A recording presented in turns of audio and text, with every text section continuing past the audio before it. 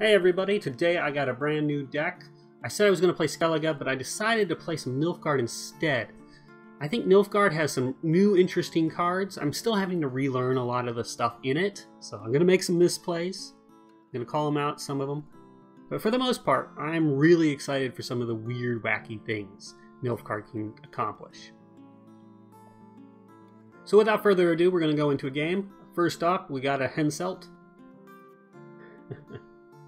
Um, the main combo of this deck is uh, Cantarella. Into, well, you reveal a Cantarella in your hand, and then you set it to one strength with one of the elites. So I gave one of my, my opponent an elite. They just played it for some reason. I do not know precisely why. Now, when you're playing Reveal, make sure to reveal the cards in your opponent's hand first before pulling out the golems now I know that my like there was no way I was gonna know that he had the uh, Burning Roach right off the bat.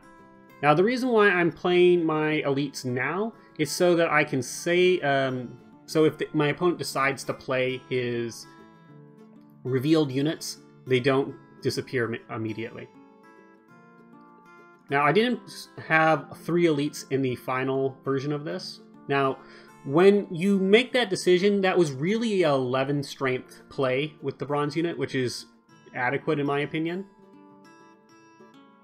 The main deal is your opponent doesn't want to play a 1 strength unit because it's low tempo. And it also means they have weaker choices in the end. Now, I revealed the Cantarella and I revealed another one of their units. It was unfortunately not a unit I wanted to reveal, So I did make a few mistakes in this game. Most notably, I just played this round down too long and let my opponent start building up greater and greater points when I didn't need to. I already had a huge advantage because of the, some of the plays I had made earlier. Okay, I see a really good Letho play. This prevents him from pulling it his other ones out with um, his leader ability. And it also gives me a good Menno play later. My opponent was unfortunate with his Witchers, which is going to help me a little bit in this game. I'm going to go put out the Golem.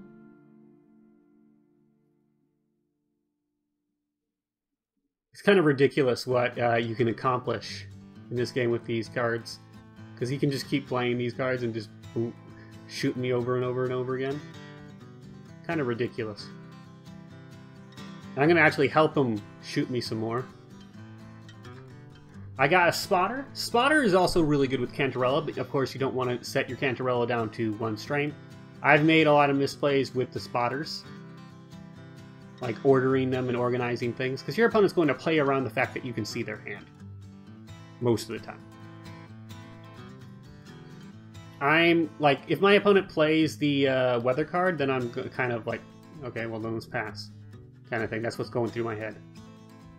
I kind of put myself in a um, pickle, but fortunately, I can keep pulling cards.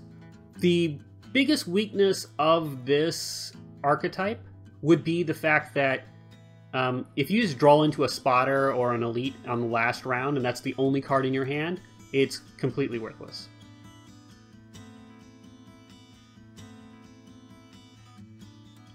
I would also recommend not setting Cantarella down to one strength until you have to.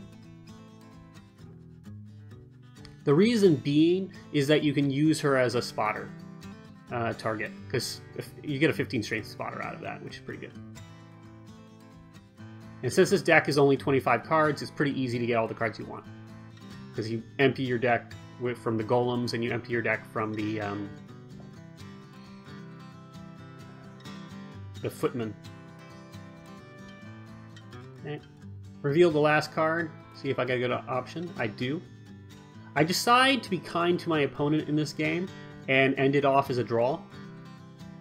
Now, the game's accelerated space, but I did my calculations. Like, if I had picked the special card in his hand, I would have won without causing a tie. Because um, the elites get 9 strength if they um, target a special. Uh, and the 10 strength bronze is below average, but it's still, you know, it's not terribly below average. Our second game is up against Skellige. So we had a Henselt, now we have King Bran. In the previous game, our opponent misjudged the amount of power we had available to us and thought that we couldn't have won, but we did. Uh, what are the uh, benefits of the card he keeps sending to the graveyard? Ooh, that was a strong coral. okay, now I'm going to reveal my Cantarella.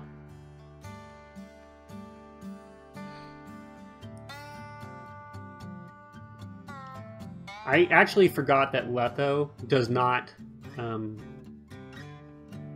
destroy, uh, doesn't banish anymore, and just destroys, and that caused me to make misplays this game. So pardon, pardon that. One of the reasons why I did um, I hit Cantarella early is because my opponent still has um, what do you call it? Uh, Uld Ulgiert in his hand. So if I do draw into another um, spotter or uh, elite, I can always delete that. Okay.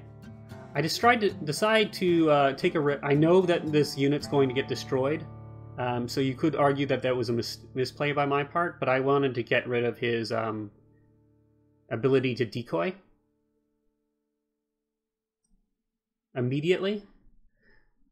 Uh, okay. I'm just going to play that. The reason for it is that it put golems into my opponent's deck and messes up his draws. Which is great. In my opinion. Okay, I got a Cantarella, which is good with Spotter.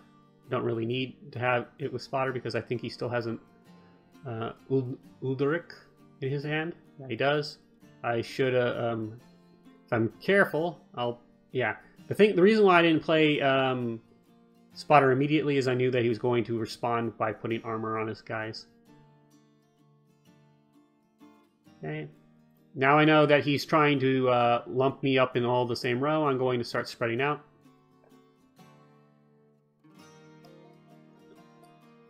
I decided I didn't want the shrooms because I didn't think of any good targets for it. Uh, and I do not have a good target for uh, my elite, which is one of the reasons why it is not a great card in the final round, and what makes this deck difficult to use.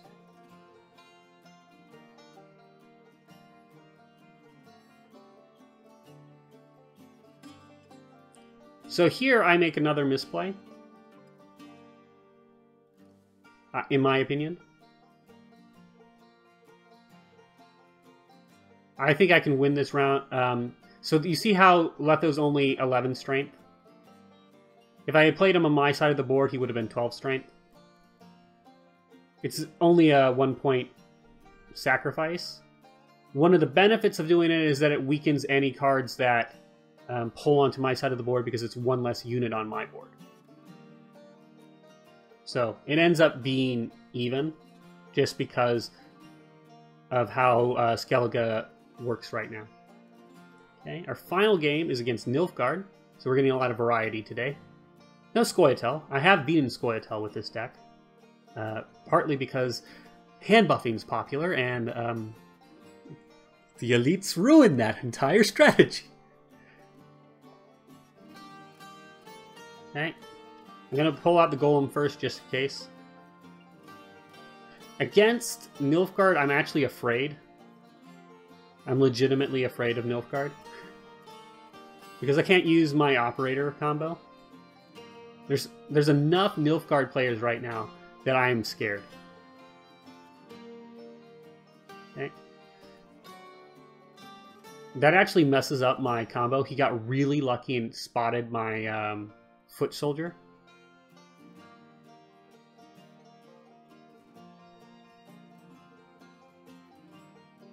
Okay.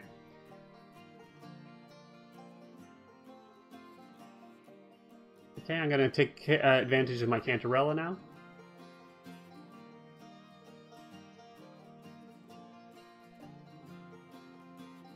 play a Cynthia.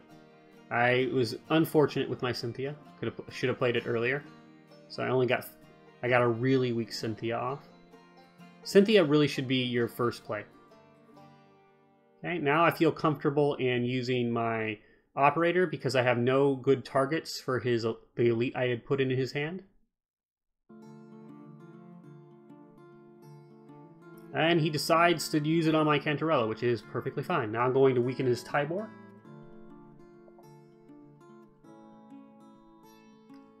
Weakening the Tibor actually causes him to have a really weak play um, later because the Tibor will still draw me a card, I believe. Okay, I'm going to push out the foot, um, the foot soldier. I have a kind of a bad situation here because can't see all the cards in his hand. One of the things that you need to keep um, you have to keep in mind when playing against